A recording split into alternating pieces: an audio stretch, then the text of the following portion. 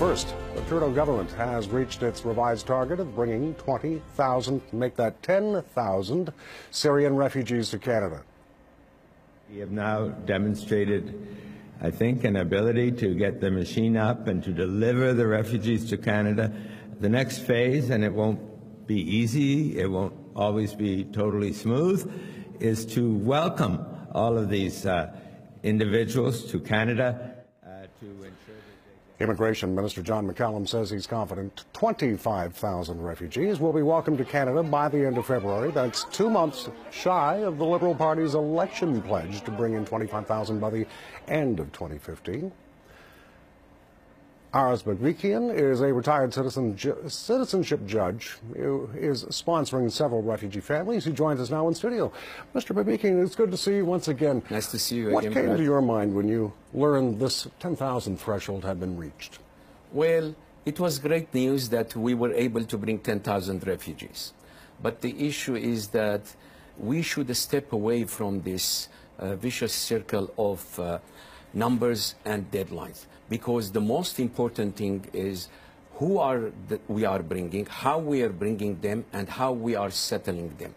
That's the most important thing. We need to slow down a little bit, bring these people and host them or resettle them in Canada in div- dignified manner. All these three who, uh, who's which I raised, there are questions about them. So the issue is this, yes, we are quite generous, as you mentioned earlier. The Canadians, I have to say that they were overwhelmingly generous and they opened their hearts and minds to the refugees. They helped them. I'm receiving hundreds of phone calls every day from people saying we would like to help. You But- have firsthand knowledge of uh, the difficulties, the challenges that many refugee families face as they enter Canada because you and your family are sponsoring three families and then other Syrian refugees that you're sponsoring uh, through extended family and friends. That's true. And uh, for the last uh, three months and even uh, over the holidays, uh, we were quite busy, myself and many of our, my friends, to uh, try to help these people, the newcomers, to uh, resettle in Canada, to ease the challenges they are facing. We should remember that the overwhelming majority of these 10,000 people are privately sponsored refugee. They uh, do not get any kind of assistance from the government. So it is left on the communities, the sponsorship agreement holders, the families and friends, and the resettlement groups in Canada to try to uh, accommodate these people. And it's not an easy task when, for a small community like the Armenian community, you receive seven to 800 refugees in one month. You, you, it's overwhelming. And that's why, that's why I'm saying that we need to step away from this uh, number and deadline issue, and we need to bring these people in a way that it will be a dignified resettlement Do you believe that that's being done now? To be honest with you, I don't think it, it, is, it has been done uh, by now because uh, it is nice uh, to bring uh, the refugees to the airport lounges and give them parkas and uh, boots, etc. But what's after? What's the next day? Who's going to look after their needs? Uh, housing. Uh, there are many problems with housing.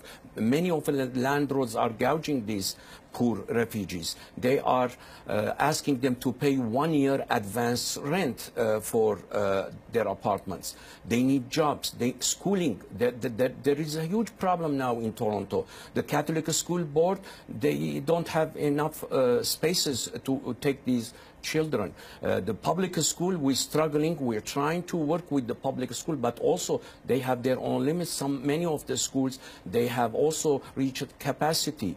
Uh, again, furniture, housing, uh, mattresses, beds, uh, kitchen stuff. So there are many issues. And the most importantly, Brad, there are many medical issues. There are many people with physical injuries from the war. Uh, there are people who have lost their legs. They need prosthetics. There are people who have, uh, uh, there are shrapnel wounds in their spines. And it's not only that, but also most of these people are suffering from post-traumatic syndrome.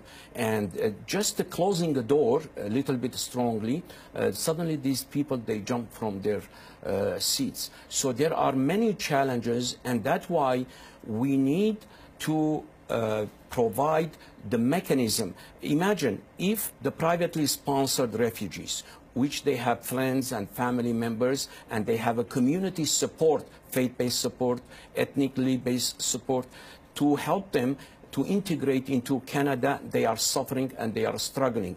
How are we going to handle the 15,000 refugees who are coming on the government sponsorship uh, plan? Because it's not enough to bring these people and put them in military barracks or decommissioned hospitals. These people, they need adjustment. They need uh, cultural integration, orientation. So these are all tasks that we are having difficulty meeting.